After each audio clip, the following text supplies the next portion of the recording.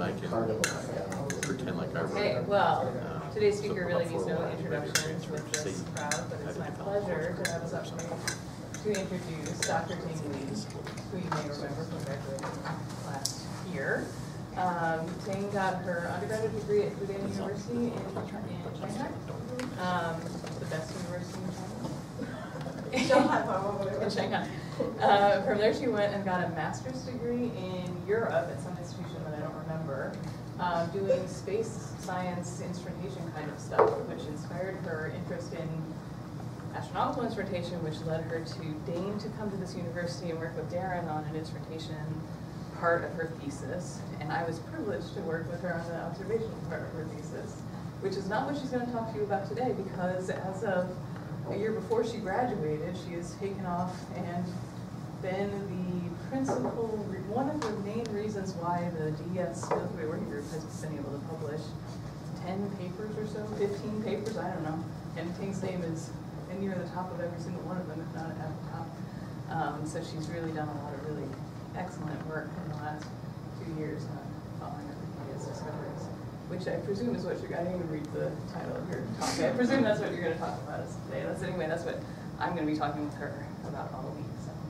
looking forward to talking. Thank you. Thanks, Jim, for a very nice introduction. And yes, I'm Ting, and uh, I think I know most of you except for a few new faces that, because I left around uh, before the the semester starts last year. And as Jen said, uh, if you remember a year ago, I kind of in the same room gave the thesis presentation. And the thing I'm going to talk about today is not really the same topic. I'll say it's not the work I did in, in my in my thesis paper. So it's, I guess it's good because I actually will move on and have new result come out. I'm going to share with you, which is not something I shared with you a, year ago. So it will be uh, mainly talking about the Milky Way satellite galaxies that we discovered in the dark energy survey. And my talk will be in three parts. Uh, motivation starts with, and then I'll talk about method, I focus on spectroscopy, and then the result. The result mainly focus on the two papers we published. And there's a secret part that after this is, if you have questions, I will answer you the unpublished result, which is not here. And I appreciate later on when we have the video recording, that part will be clipped and then put on the website. But anyway, uh, and I'll have to say, have 80 slides, which I didn't expect, but I couldn't make it smaller. So I hope I don't go delay you too much time for that. but Did I'm you say eighty? 80, 80. You, will see. She learned from her, uh, her advisor. I hope oh, it's, not- it's something you get, you learn. Anyway, so let's start with the motivation, and then I'll, I'll bring up my motivation to three parts of why we're working on the dwarf galaxies in the Milky Way, from near-field cosmology, galaxy formation, and indirect dark matter detection. Okay, so start with the near field. So that's, that's two slides already, just let you know. so start with the near field cosmology, why we want to do this. So, be- before I start with these nearby dwarf galaxies, I want to start with the large scale structure. So this is a very famous plot showing you that the large scale structure from the observations here in the blue and the simulations in the red. So what you see here are the observations that from SNO and from other surveys. Each dot here in the blue are a galaxy. And here is from the Lambda CDM simulations, and each dot here is a dark matter subhalo.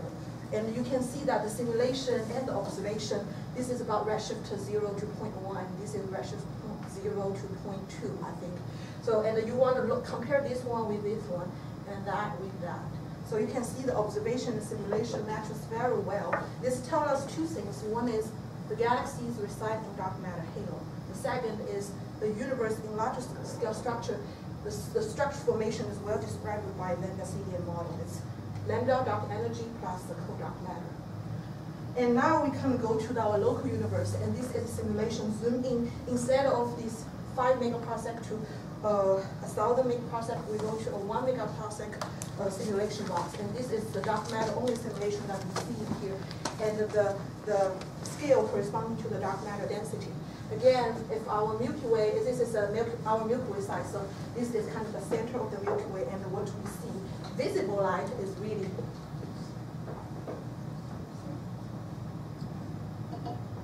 That happens almost every week. There's another laser pointer up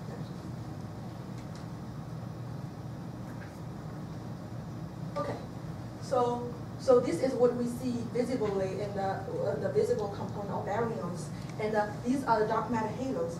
I hope these first two work. Yes. And then if you look at one of these dark matter subhalos, if it has stars there, and that's kind of the dark matter, uh, uh, the, the star galaxy we see, and these are the dwarf galaxies we're talking about. So this is corresponding to our local Milky Way uh, halo.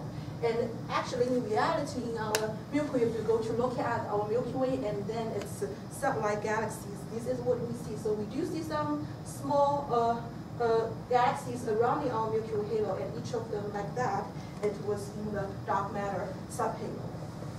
Hope I can do this. And if you have a chance ever go to the southern sky, you can see this by eye. This is the largest two Milky Way satellites that you actually can see with a naked eye. One is the large Magellan Cloud and one is the small Magellan Cloud. And that's the uh, true uh, satellite of our Milky Way. However, if you look at these simulations, you will see that uh, the simulation predicts thousands of them. But then if you count uh, check the number of dwarf galaxies that we know in our Milky Way as a function of the discovery here, you can see that up to 2,000, we only know about a dozen of them. But this really comes out of a problem called missing satellite problem, or really uh, like dark matter, cold dark matter crisis at the, about late 2000. So the CDM, the cold dark matter simulations, predicts 500 to 1,000 luminous subhalos for Milky Way size galaxy, but the Milky Way only hosts about a dozen or dozens of known galaxies. So question immediately come up with a simulation wrong, like instead of cold dark matter, should we go to warm, warm dark matter or self-interacting dark matter to solve this problem? All this might just observational bias that we don't see the most of those dwarf galaxies, but they are there. Another thing I want to point out at the beginning when I say this is a good match between the CDM model and the observation. Really, I'm saying it's ruling out the hot dark matter because at the warm dark matter regime, the prediction from the, the simulation will, on the larger scale structure, will have the same behavior as the cold dark matter. So really, dark, uh, hot dark matter has been ruled out from large scale structure. But the warm dark matter is still possible in this uh, uh, this picture, even though this simulation is done with cold dark matter, but there will be no difference in the large scale structure for the for the uh, for the warm dark matter simulation. So this is really the birth of near field cosmology, which is saying that we can use the nearby galaxies to constrain the nature of dark matter. And because the cold dark matter and warm dark matter will have very different predictions in the small, scale structure, not those larger scale structure that I showed before, in terms of the matter power spectra, the subhalo mass function, the density profile, the halo shape, etc. And the missing satellite problem is really just one part of the subhalo uh, mass function and uh, that I'm touching today. But if you are interested in other topics, I'm happy to talk offline. Question, Mhm. how fast does warm dark matter move? Uh, you can, so. you- Whereas hot dark matter It goes nearly the speed of light, right? Yeah, it's- so it's really rel- So How warm is relativistic. warm? Well, I think uh, cold dark matter is zero. Yeah. Is Louis here? Uh, So cold dark matter is zero, and the warm dark matter is really anything between zero and, and the speed of light in reality, right? But in terms of it, I think, okay, I might answer different. And in terms of energy level, when, when we talk about WIMP, which I'll mention later, it's really at a 100 GeV level. And for warm dark matter, it's really at a KeV level. And that's, that's how we talk about the, the, the, the difference between, between the, the warm dark matter and the, and the cold dark matter. So cold dark matter is at uh, yeah, it's at MeV or KeV level, and uh, the warm dark matter is at uh, a few KeV level. Yeah, that's in terms of the mass. So really the question is like when? Like it was moving When- fast in the early universe. So they're all moving in the halo at about the same speed, 220 kilometers per second. But like the question is, it's warm because it was born. Yeah, It was that's- born fast. Mhm. It was cold like matter was born slow.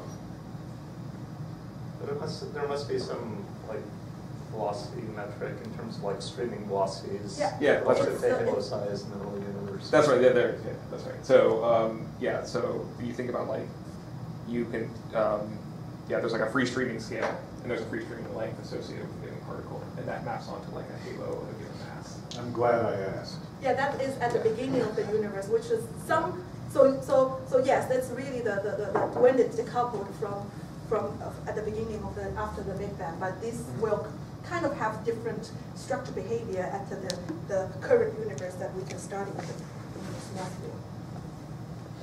But I don't think you can give a number of the velocity. Um, Uh, People it- do simulation, put a number of velocity and the different people do. uh, they put in, it's, it's what the initial condition is basically, what's the velocity initially. Okay, so, okay, so now let's move to later on the for Sloan. So what SDSS has discovered is a group of another dwarf galaxies called ultra faint dwarf galaxy. So different from this classical dwarf galaxy like Fornax, which is luminous, you can see there's only about 100 stars there or even less. Um, yeah, a few hundred stars in those subhalos. And what we realized is the astrophysics process prevents star forming from uh, star from forming in these most low mass halos. So we didn't see those things, uh, those dwarf galaxies before. And soon after 2000, when the sun turns out, there's a burst of the discovery of the ultra faint dwarf galaxies. So number of the dwarf that we know uh, goes up uh, tremendously. And then soon after dark energy survey turned on in about late 2014, I don't know when it turned on, but the discovery was started about 2015, and there is a, a big kind of boost in, in terms of the total uh, dwarf galaxy population kind of doubles the size. And here you can see the two jump corresponding to the, the, uh, the year one and year two, the data, internal data release in the dark energy survey. Another want to point out is this plot is never up to date because this, I think we plotted at the end of 2016, and just two or three weeks ago, there's more actually discovered. So you need to, I need update but uh, haven't done that yet. So it's really keep updating. Another thing I want to point out is these field dots here are all the confirmed dwarf galaxies, which means that we go follow up them spectroscopically, and then we know that they are dominated by dark matter, so they are dwarf galaxies. Well, most of those, the one that we newly discovered are still open uh, uh, candidates, uh, open circles here, which means are candidates. So we still need to follow them up kinematically to confirm whether or not they are dwarf galaxies. Okay, so this is the plot showing you uh, the classic dwarf galaxies that in blue found before Sloan, and then these red dots here that was discovered in Sloan. And then another jump is from dark energy survey, and this is the footprint of the dark energy survey, and these are the dwarf galaxies that was discovered in the dark energy survey corresponding to year one and year two. Uh, here is a plot showing you the brightness, or say, no, so uh, the luminosity, or say the apparent magnitude of the of those dwarf galaxies as function of the distance to the galaxy center. So again, minus eight, MV of minus eight is around the uh, border between classical dwarf and ultra faint dwarf. So these are the things before find before Sloan, and these are found in Sloan. And the magenta ones are the one found in the in the dark energy survey. And one thing you need to notice is you can see there's a bias here. Doesn't mean that there's no nothing there. It's just the current survey depth is not allowed us to probe deeper, and that's something further on the LSST can probe. But uh, it's a big sample that that we have found now with DES. And uh, again, we need to go actually look at the individual of those to actually to get their velocity and uh, to confirm if they are actually a dwarf galaxy or not. So the discovery of these ultra-faint galaxies dramatically increased the number of known satellites in the Milky Way. And on the other side is also success in the simulations that when they include the baryonic feedbacks, they predict fewer lumino luminous subhalos in the Milky Way. So this is a plot of the luminosity function, so number of uh, dwarf galaxies brighter than certain luminosity as a function of the luminosities or the apparent magnitude. And this is only a simulation for the uh, classical dwarf, so you can see the MV is brighter than minus 8. And uh, the solid one shows the dark matter only simulation. And when you include baryons, so you can get, hydro, including the hydro simulation, you get those uh, open ones, and you can see the number of dwarf galaxies also goes down. So it's like uh, on the observational side, we are finding more. On the simulation side, they are going down. So it's kind of in a good, good at least direction that the, the missing satellite problem is gonna, going to solve. Or it's not any problem, it's something, a good powerful tool to understand the nature of dark matter, but it's not a crisis anymore.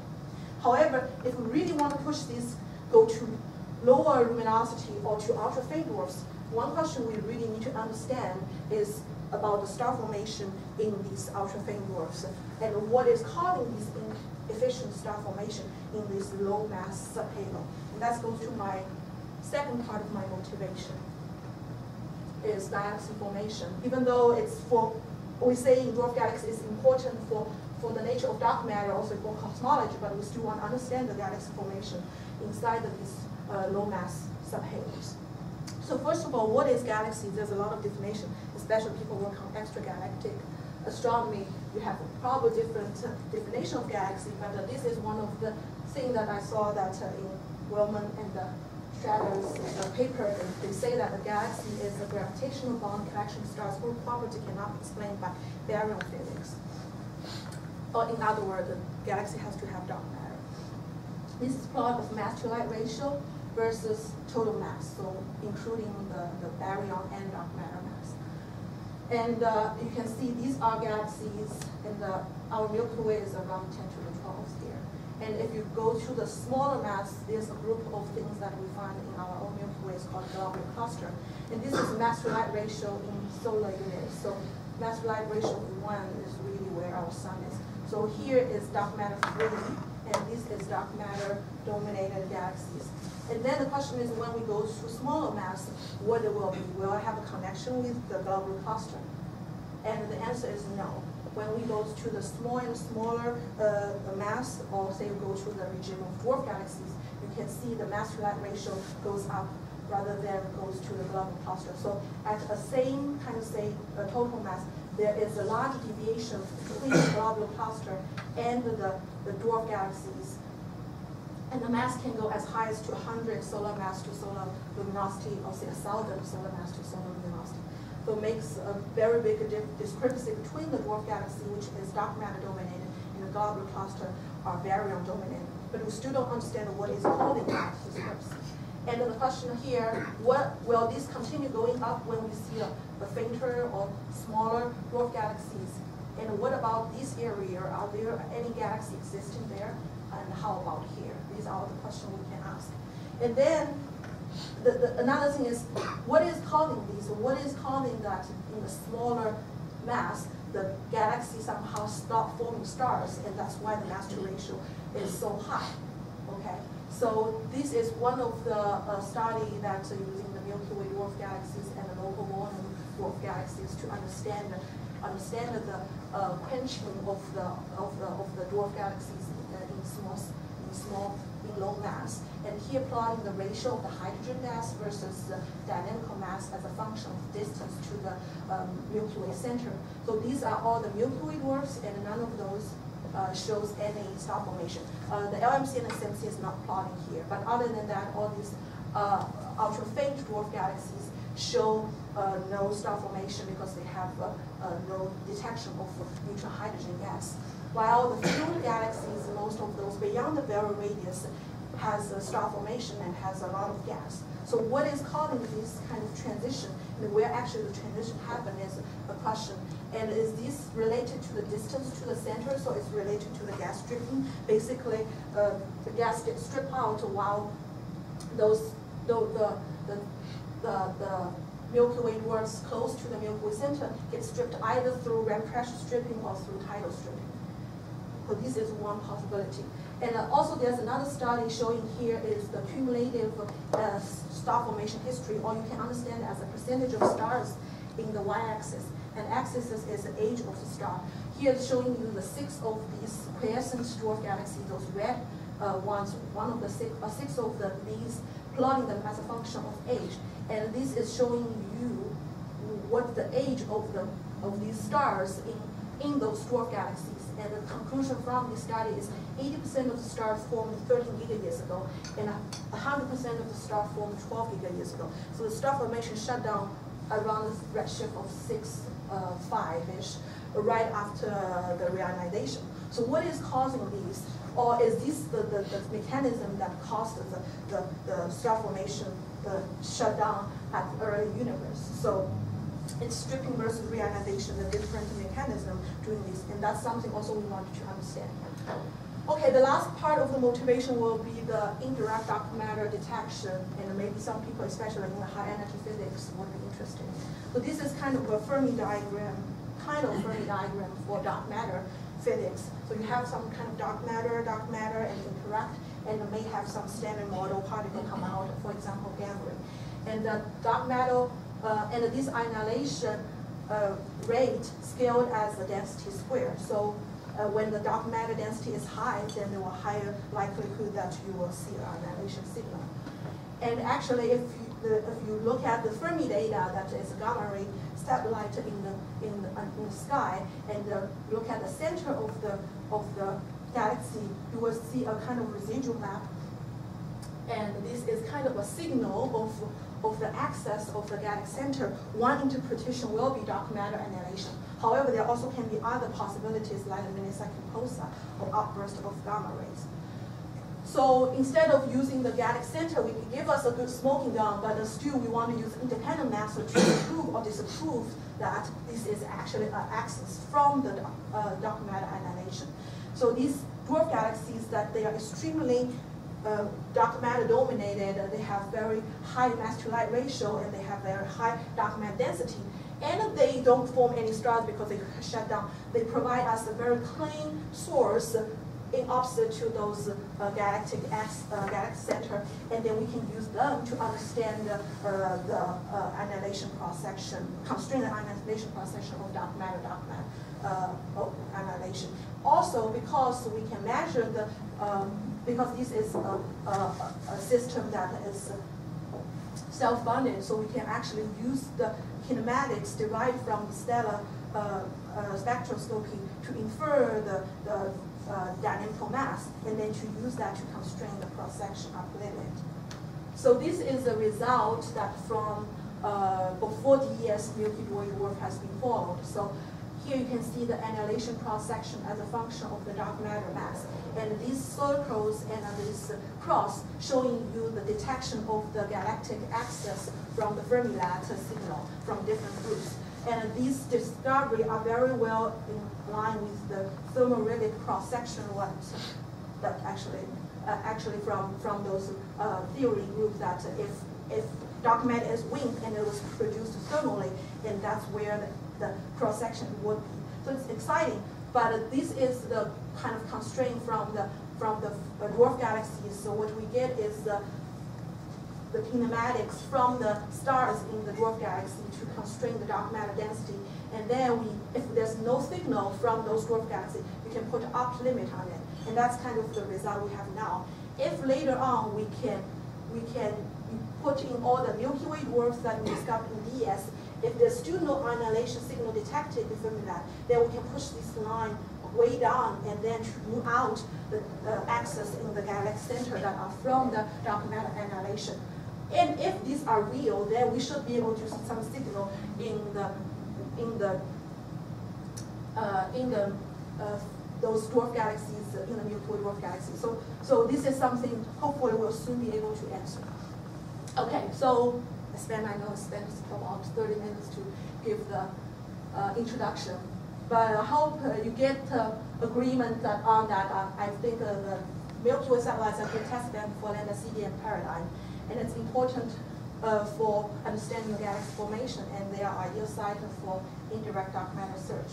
And the question really we want to ask is, so then for these DES dwarf galaxies, are they good candidate? Are they actually dark matter dominant dwarf galaxy? And uh, they also stop uh, forming stars a long time ago?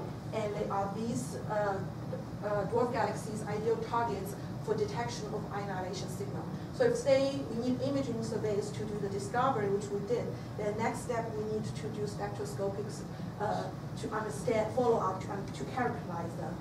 And so the, the, the work I'm going to describe next mostly is focused on the precise velocity determination through spectroscopy. And another part I won't touch is the abundance measurement also through spectroscopy. There's experts here working on that part. So I'm, I hope you will hear another talk later on in the future from someone here. And, uh, yes. okay. So just before, yeah, before I go further, I'll give you another little bit of very quick introduction about uh, how we do measurements on resolved stars in these nearby galaxies. Three methods, photometry, astrometry, and spectroscopy. So for photometry, what we do is color magnitude diagram, we get brightness and brightness and color, and so that we can infer the distance, stellar mass, and maybe age. And uh, from astro, uh, yeah. and from astrometry, we get the uh, we can get the position of the star, and from that we can get the size of the uh, dwarf galaxy and also the proper motion if we have some good uh, astrometry. And then for the spe spectroscopy, what we use is a line position and line strength to measure things about the line of sight velocities through Doppler shift, the chemical abundance, and also the dynamical mass. And I'm going to give a, a one slide to tell you how we do these dynamical. And this is basically what I'm going to focus on for, for the later results. So dynamical mass is important. First of all, it's important to confirm whether or not it's a dark matter uh, dominant dwarf galaxy. Second, it's important because it directly gives us the constraint on the annihilation cross-section. It's using very simple physics, basically, it's virial theorem. So the kinematic potential and the gravi gravitational potential, yes, has some relation, right? And uh, because it, uh, those dwarf galaxies are dispersion-supported system, so we can actually use the dispersion and the size of the system to infer its total dynamical mass. And for these dwarf galaxies, the dispersion is at about several kilometers per second, which is intrinsic scattering of the system. So in order to measure the velocity dispersion to infer the mass, we need to measure the velocity accuracy to about uh, to a level about one kilometer per second. Or say we want to measure the position of the line better than 0.01 angstrom. And so here showing you a histogram of the velocities, and these are kind of uh, the stars that uh, relate to one of the galaxy called Cyclid 1. So you can see there is a width here. This width is associated with two things. One is intrinsic scattering. One is the uncertainty of your velocity measurement. So in order to measure the intrinsic scattering, you need to know the velocity uncertainty very well. So it's not only the velocity we want to measure, we also want to make sure the estimation of velocity uncertainty is accurate. So this is the instrument we use for discovery, and that's the uh, Blanco telescope at CTIO. And we got an image, and then we do some filtering algorithm to find the overdensity using DECAM. And if you go about two to 300 mile away, then you go to another mountain, still in Chile, still in La Serena, and then you will see these two telescopes, Magellan, two, two 6.5 meter telescope. And here I'm going to show you the one of the instruments we use there. It's called IMACS. I don't know what that means, but uh, it's IMACS. It's, and uh, here give you a very quick overview of the IMACS instrument. It actually has also F2 component here, but we are not using it, so I'm not showing here.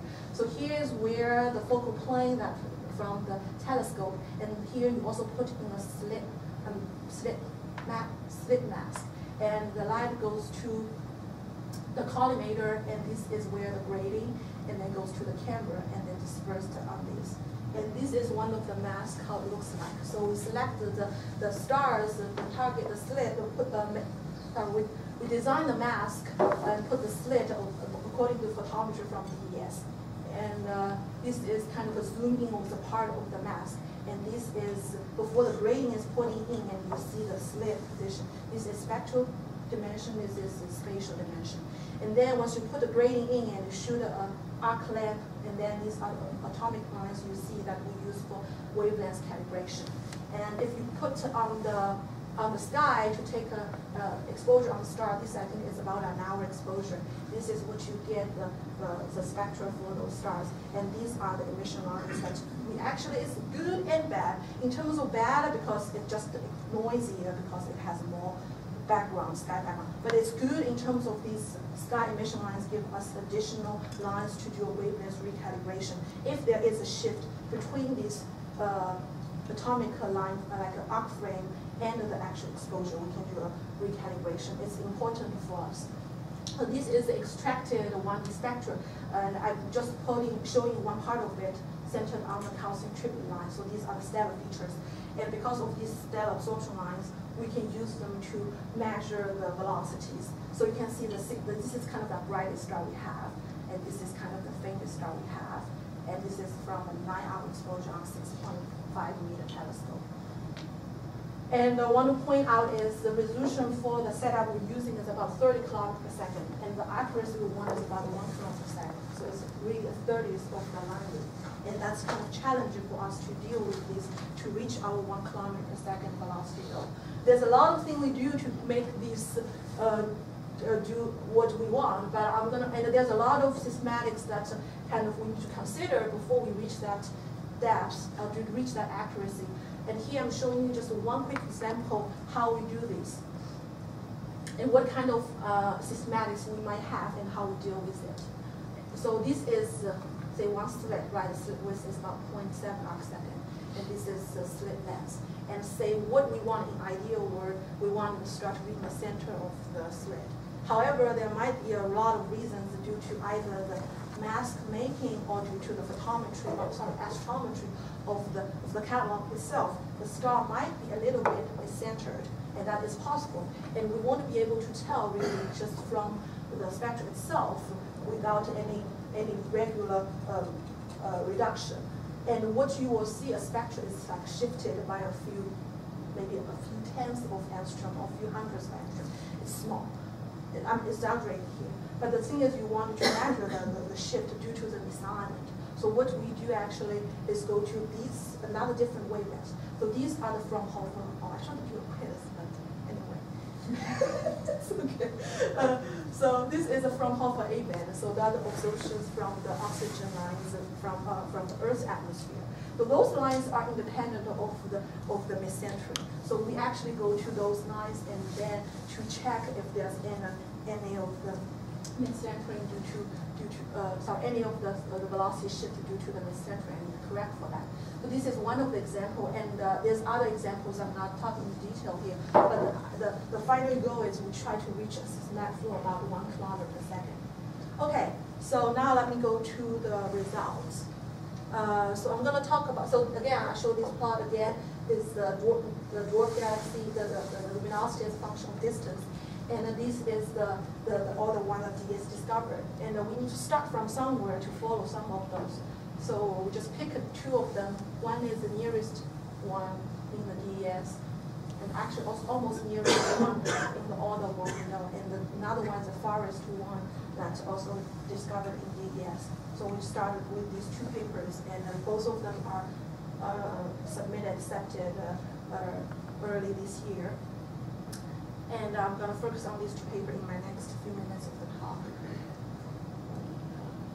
Okay, so I'll start with Eridanus 2. Eridanus 2 is the dwarf galaxy candidate discovered in the first year DES data, and it has a distance about 370 kiloparsec from the Milky Way center. So it's beyond the Milky Way virial radius, which is around 300 kiloparsec. And so it is also one of the farthest dwarf galaxy in Milky Way. So this is a full, uh, sorry, sorry, um, image of uh, Eridanus. You probably can see kind of a few blue stars there that is uh, related, but this is really color contrast. It's not real, I would say. And here is a color magnitude diagram of of uh, Eridanus 2 from the Koposov paper. And in their paper, they said this is uh, the the isochrone with uh, 12 gigayear, and that's the majority of the Eridanus 2. However, you see a group of stars here that can be well fitted for, for uh, much younger at 250 milliyear and a much uh, higher, rich metallicity, and at the same distance. So those two lines, even they look very different, but they are at same distance. But uh, this group of stars can be well explained by a much younger population. So is it possible? Because it is beyond the virial radius of the Milky Way. So is it possible that it is beyond our Milky Way and uh, beyond, uh, beyond the radius of the Milky Way and still forming stars? So that's why it makes this. I'm sorry, Jane, where's the main sequence for that? For the blue line, where did all the main sequence stars go? So it goes also like that. It's beyond this diagram. So the turnoff is much, much younger, right? This is basically, Sorry, yeah, sorry. let me say, where are all the turn-off stars then? I think for this one, it's, it's these, I guess. That, that one? But, but then you are, oh, you are saying it's not Yeah, showing there there aren't any stars there. I, I don't know the amount, it's really two fifty million years, so it's really young. I never worked with an, an actual IMF for that. Well, but I guess you're right, it should Even if it's something- young, it's got, I mean, be the sun was bright when it was young too. Uh, yeah, uh, I agree. Uh, we should plot something. I think those are because uh, the turnoff should be brighter, right, for, for a younger age, right? So I think those are, and you are right. It's obvious. Not nothing there. But anyway, that's what they claim that there might be a star forming, a star forming. If it's real, then it's the smallest star forming galaxy ever known. But uh, uh, but that's just the, the discovery paper. And that's what makes this target super interesting.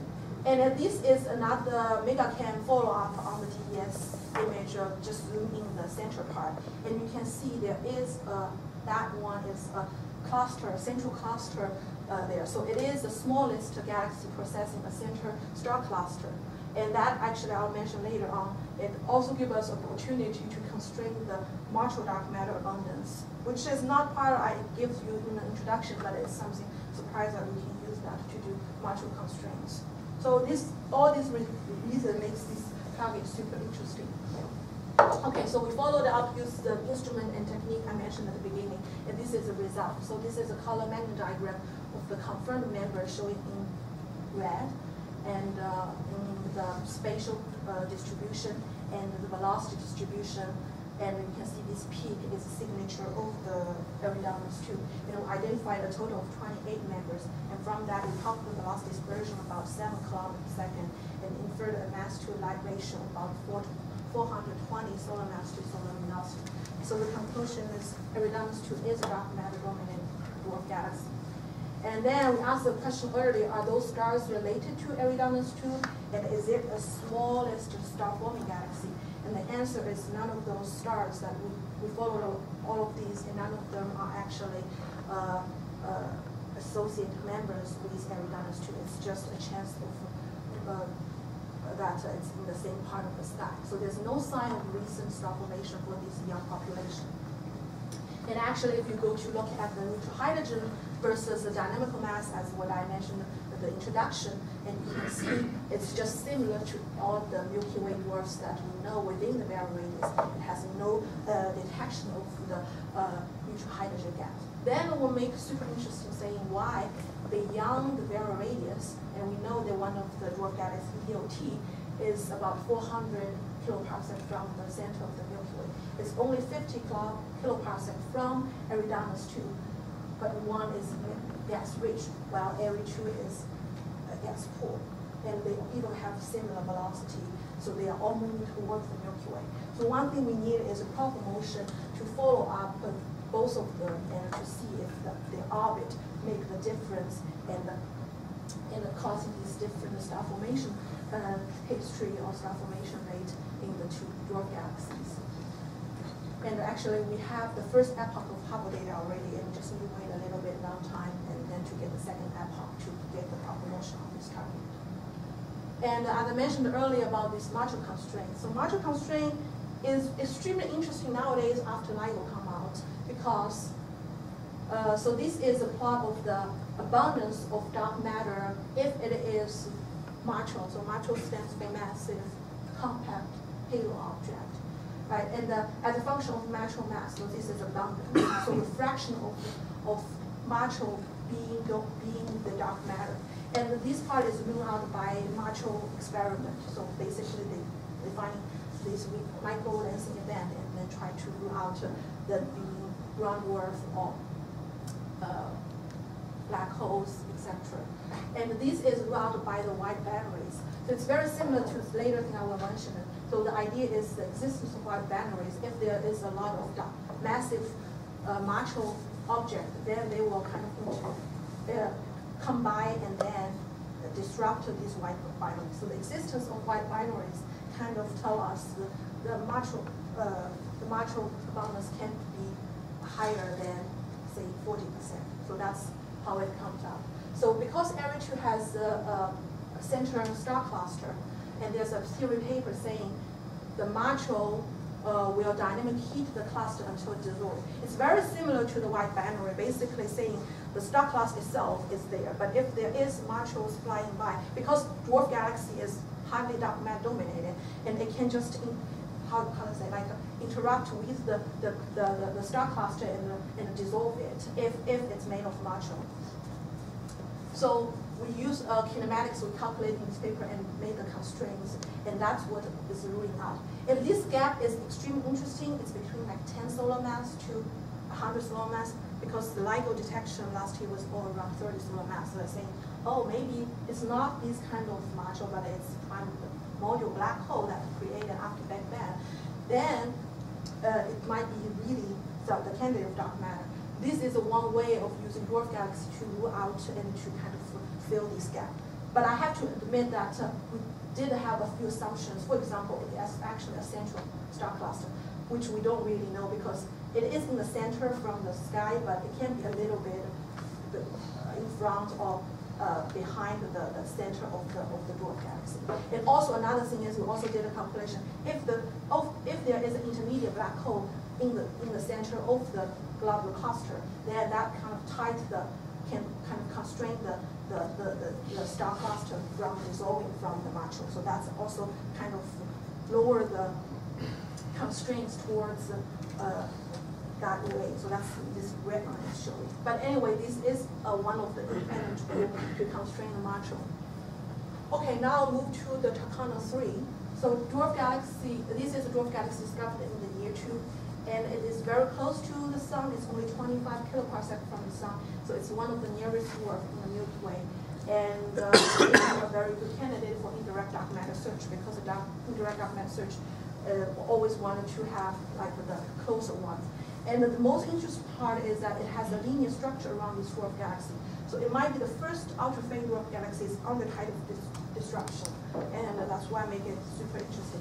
And what we did with IMACS is just follow the center of the of the, the core of the dwarf galaxy. We didn't look for the the, the, the, the tails because it needs a lot much larger field of view instrument to do that. So I'm going to talk about the observation we did for the core of the of the taxon. So this is, uh, again, the result for the column diagram, the spatial distribution and velocity distribution. You can see we got about 26 members identified for, form a very narrow peak. However, from what we got, we only can put an upper limit for the velocity dispersion of about 1.5 with 95 confidence, 95% confidence, yeah. And the inferred mass to light ratio is 240. So the velocity dispersion for uh, TUC3 is not resolved uh, we can't really say if it's dwarf galaxy or globular cluster, but we try to make a plot here to classify it. So this is showing you the luminosity versus half-light radius. Uh, the black dots here are globular clusters, and the open yellow, yeah, the open uh, blue circles are the dwarf galaxies. And you can see, um, according to the, I say, brightness versus size, uh, Tucana 3 in red is more likely to be a dwarf galaxy. And this is mass light ratio versus uh, the luminosity.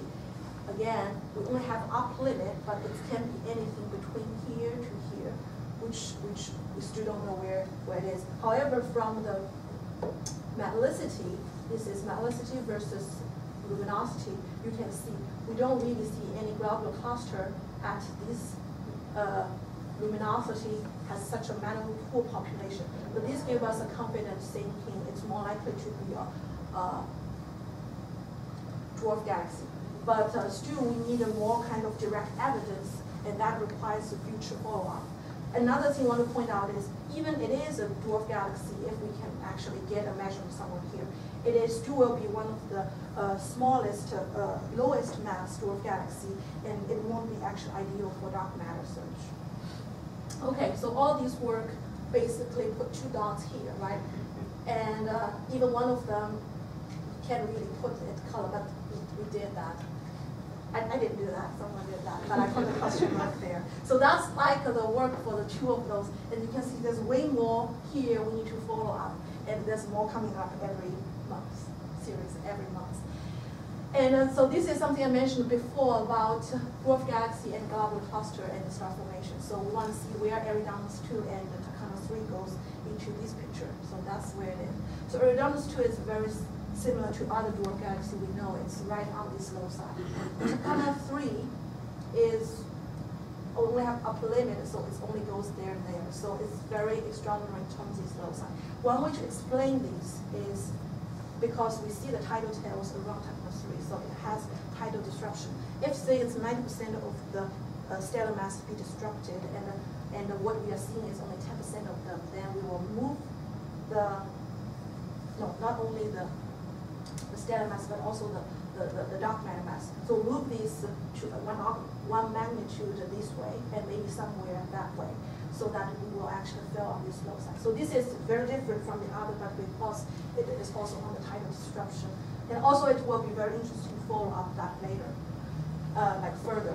And this is the star formation plot I showed at the beginning. So again, this is neutral hydrogen mass versus dynamic mass as a function of distance. And where Eridanus two line on is here.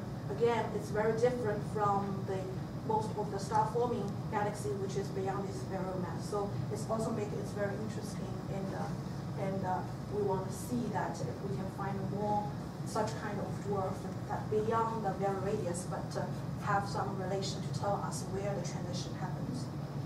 Okay, and then go back to the WIMP annihilation at the beginning I mentioned for the indirect dark matter detection. So unfortunately, neither Tucana 3 and Eridanus 2 is ideal candidate for direct dark matter search, uh, indirect dark matter search, sorry. Uh, the Eridanus 2 is just too far away, and the Tucana 3 has just low, very low ma- mass. But we have a lot of more going on, and that's what we are working on now. So I only talk about one instrument with like, uh, uh, the two papers that we work on. We also have data from VLT, from TAC, from AAT, and from different instruments all over the world, and to work on. And uh, that's something I'm working on. So I'll stop here for my talk that is usually go to the public because everything is published so far. But I hope you guys get the information that the Milky Way dwarfs are ideal targets to, to do from cosmology to galaxy formation. And uh, we are working on that. And I talked mostly kinematics today, but I hope you will hear some talk about chemical bonding later. If anyone asks questions, I will answer something that is not published. Thanks. Make sure we just turn off the camera, let's do that, that's safer. I forget how many hits these get actually. How many videos It's not they should- really, not Yeah, I you know. How- how guys, it's just a policy thing that I.